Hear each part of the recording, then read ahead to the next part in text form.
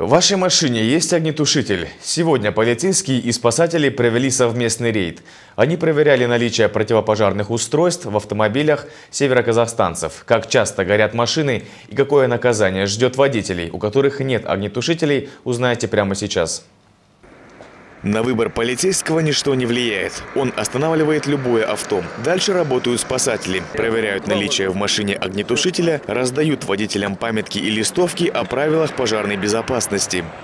Из тем, что участились случаи пожаров на транспортных средствах, хотел бы обратить ваше внимание, чтобы вы на. В прошлом году автомобили горели в городе 42 раза, в этом только 30. Но уменьшение показателя не повод расслабляться, говорят спасатели. В 2015-м это уже второй совместный рейд сотрудников Департамента по чрезвычайным ситуациям и полицейских.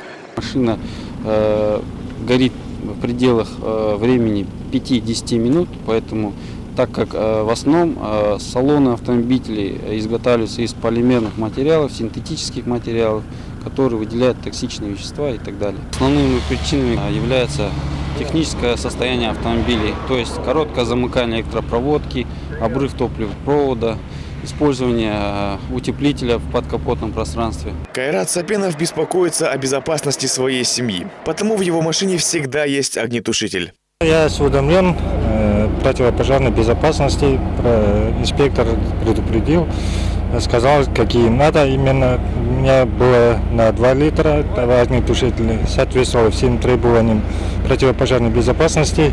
Посоветовал и посоветовал на 5 литров.